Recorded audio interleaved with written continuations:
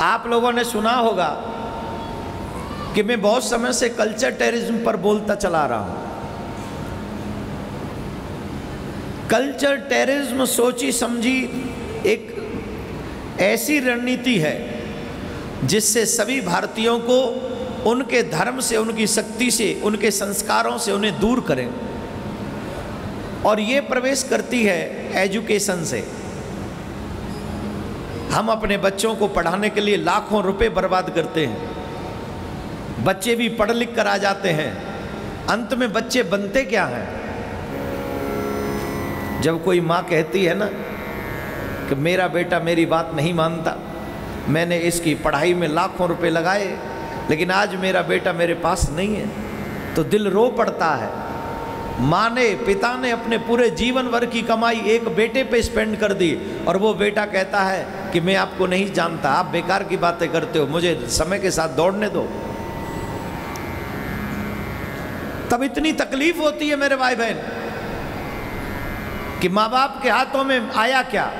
माँ बाप को क्या मिला? माँ बाप के हाथ क्या लगा?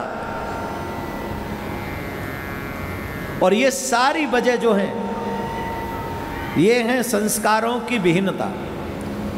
जब जीवन में संस्कार नहीं होंगे, आज मेरे को एक बिटिया कह रही थी, महाराज, जब मैं स्कूल जाती हूँ, जब मैं स्कूल जाती हूँ तो मुझे तिलक लगाना अलाउ नहीं है। मुझे कंठी पहनना अलाउ नहीं है। मैं कलावा नहीं बाँध सकती।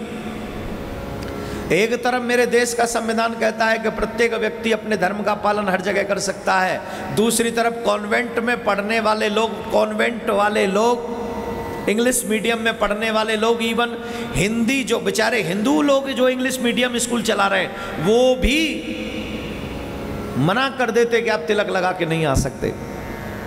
आप कंठी नहीं पहन सकते, आप राम राम नहीं बोल सकते, आप राधे राधे नहीं बोल सकते।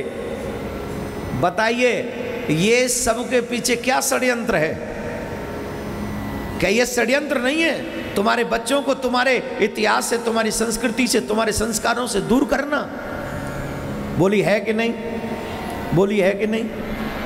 आपने पैसा दिया, आपने अपना बच्चा दिया, भारत का भविष्य उनको दिया और उन्होंने आपके पैसे को यूज़ किया, आपके बच्चे को यूज़ किया और भारत के भविष्य को चरित्रहीन बनाकर आपको वापस रिटर्न कर दिया।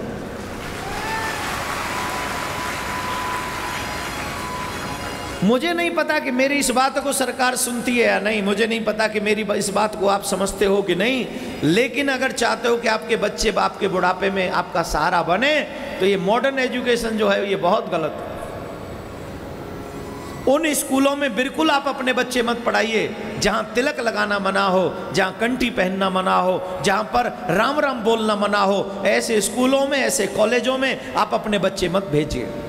अगर चाहते हो कि आपका बच्चा चाहे कम पढ़े, लेकिन आपके घर को चला सके, आपके संस्कारों को समझ सके, ऐसी जगह पर आप अपने बच्चे पढ़ाएँ, ये मैं आप सबसे प्रार्थना। इसीलिए तो गुरुकुलम होते थे पहले। पहले जो लोग गुरुकुल में पढ़ते थे, वो ज़िंदा नहीं रहते थे। उनकी ज़िंदगी नहीं थी। सब था। लेकिन अब वैसा नहीं है। आप सबसे मैं निवेदन कर रहा हूँ। अभी मैं अपने ट्रस्टी लोगों से भी एक प्रार्थना करूँगा कि बहुत जल्दी कुछ ऐसा किया जाए, जिससे मेरे भारत के नौजवानों को ये पता चल सके कि आखिर मेरे भारत की सभ्यता क्या है, संस्कार क्या है और जन्माष्टमी पे होने वाले उत्सव में कुछ ऐसा ज़रूर किया जाए जिसमें पता चल सके मेरे बच्चों को कि आखिर भारत है क्या। भारत कहते किसको है? भारतीय कौन है?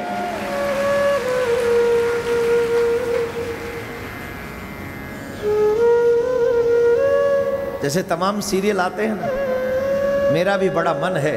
एक सीरियल आए, मैं भारत हूँ, मैं भारत हूँ।